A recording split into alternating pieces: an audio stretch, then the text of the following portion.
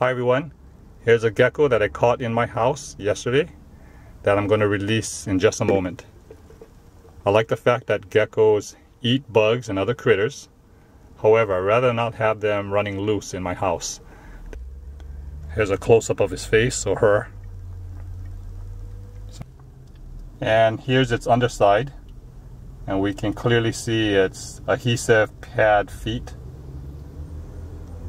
and I'm gonna let this little guy go here on this wall at this park. All right, the gecko has its freedom.